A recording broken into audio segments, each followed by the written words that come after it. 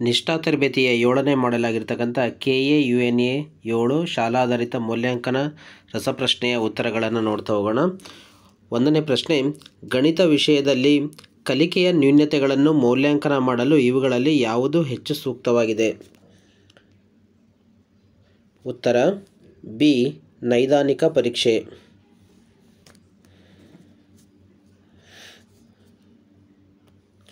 ಎರಡನೇ ಪ್ರಶ್ನೆ ಒಬ್ಬ ಶಿಕ್ಷಕ ತರಗತಿಯ ಕೆಲಸವನ್ನು ಸಂಗ್ರಹಿಸಿ ನಂತರ ಮುಂದಿನ ಪಾಠವನ್ನು ಮಕ್ಕಳ ಅವಶ್ಯಕತೆಗಳಿಗೆ ಅನುಗುಣವಾಗಿ ಯೋಜಿಸುವುದು ಮತ್ತು ಸರಿಹೊಂದಿಸುವಂತೆ ಮಾಡುವುದು.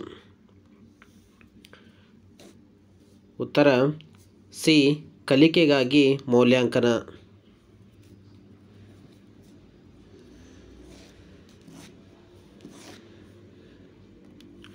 ಮೂರನೇ ಪ್ರಶ್ನೆ ನಿರಂತರ ಮತ್ತು ಸಮಗ್ರ ಮೌಲ್ಯಾಂಕನದ ಅಗತ್ಯತೆ. ಉತ್ತರ, ಡಿ. ಕಲಿಕೆಯನ್ನು ಹೇಗೆ ಗಮನಿಸಬಹುದು, ದಾಖಲಿಸಬಹುದು ಮತ್ತು ಸುಧಾರಿಸಬಹುದು ಎಂಬುದನ್ನು ಅರ್ಥ ಮಾಡಿಕೊಳ್ಳುವುದು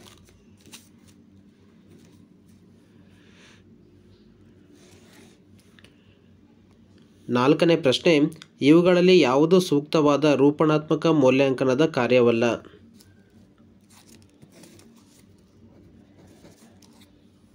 ಉತ್ತರ, ಡಿ, ವಿದ್ಯಾರ್ಥಿಗಳು ಶ್ರೇಯಾಂಕ.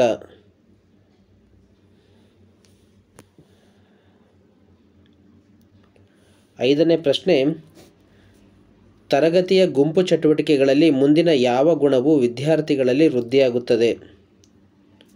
ಉತ್ತರ, ಡಿ, ಸಹಕಾರ.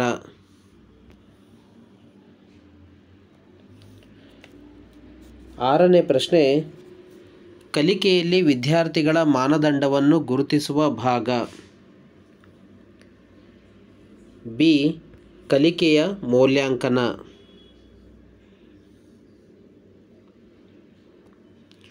ಏಳನೇ ಪ್ರಶ್ನೆ. ಇವುಗಳಲ್ಲಿ ಶಾಲಾಧಾರಿತ ಮೌಲ್ಯಾಂಕನದ ಪ್ರಮುಖ ಲಕ್ಷಣ ಯಾವುದು? ಉತ್ತರ. ಸಿ. ಸಾಮರ್ಥ್ಯ ಆಧಾರಿತ ಚಟುವಟಿಕೆ.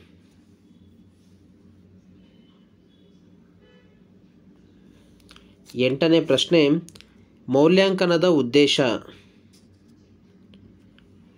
ಉತ್ತರ, ಎ, ಯಾವುದೇ ವಿಷಯದ ಗುಣಮಟ್ಟವನ್ನು ನಿರ್ಣಯಿಸುವುದು.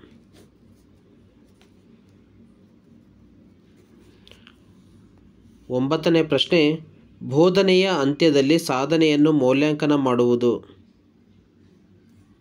ಉತ್ತರ, ಸಿ, ಕಲಿಕೆಯ ಮೌಲ್ಯಾಂಕನ.